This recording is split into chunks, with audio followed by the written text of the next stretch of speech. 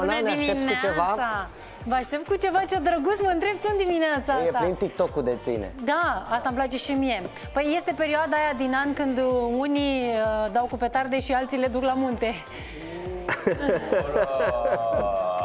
Bine că Dicono la, la mame. Am zis că vorbesc numai de sezon luna Băi, asta. ar, Da,